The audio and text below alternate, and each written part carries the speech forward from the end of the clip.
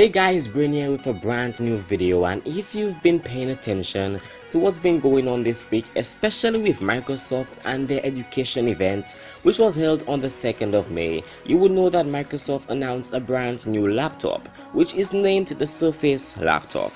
So I thought I'd update you guys on what you should know about this new piece of tech. Inside the Surface laptop on the base model, which will debut on June 15th, priced at $999, is Intel's latest Core i5 processor 4GB of RAM and 128GB of solid state drive storage. Microsoft is using a 13.5 inch PixelSense display running at 2256 by 1504 resolution along with support for the Surface Pen and Touch. It's a 3x2 aspect ratio so it looks like a Surface Pro 4 or Surface Book display. The other much higher end model has a 512GB SSD, 16GB of RAM and an Intel i7 Pro processor. Microsoft has made the Surface laptop display look like it's glued directly to the keyboard without a hinge, thanks to a repositioning of the Wi-Fi and Bluetooth antennas. On the right hand side, there's a Surface connector for power and connections to docks, and on the left, there's a regular USB port with a mini DisplayPort and also a headphone jack. Unfortunately, Microsoft hasn't added USB-C here and that's disappointing given that the majority of high-end laptops are shipping with at least one USB-C port.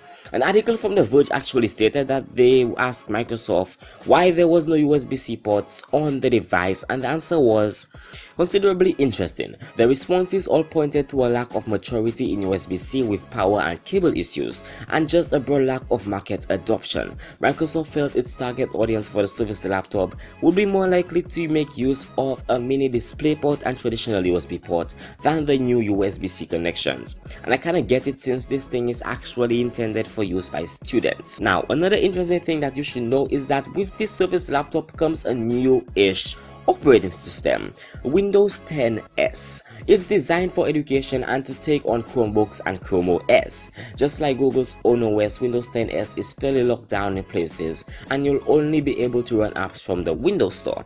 As I just stated, the biggest change to Windows 10 S is that it's locked down to only work with Windows Store apps. That means you'll need to find apps in the store to download and install. And many desktop apps like Photoshop and Chrome simply aren't available in the store yet.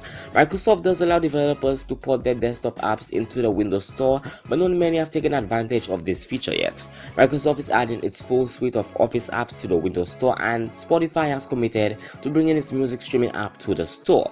And again, I'll mention that this device is targeted at students who will most likely not need to use apps such as Photoshop or Adobe Premiere unless they are doing some sort of special course. Also, Microsoft claims that security and performance will both be improved with Windows 10s. Apps won't be able to run unless they're packed and available in the Windows Store so that should help prevent malware and unnecessary app helpers from running at boot up.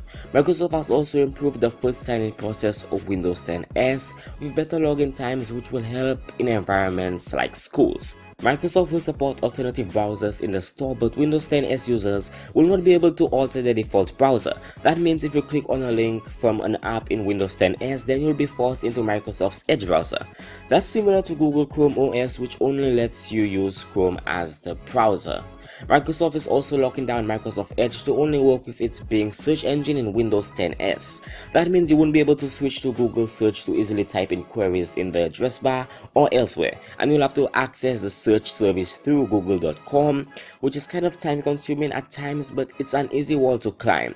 Fortunately, if you need desktop apps that aren't in the Windows Store, then Microsoft has a quick fix for Windows 10 S. For $49, you can upgrade to Windows 10 Pro and get access to desktop apps. On a low cost device, this seems reasonable, but it's an additional cost for more premium devices.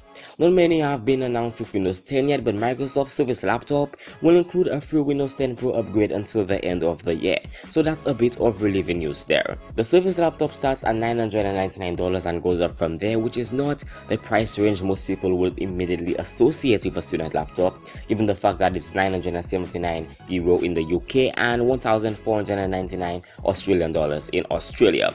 But according to Microsoft VP of Devices Panos Panay, the man in charge of the Surface line, the Surface laptop is indeed for students, specifically college bound ones looking to invest in a serious PC to get them through years of higher education.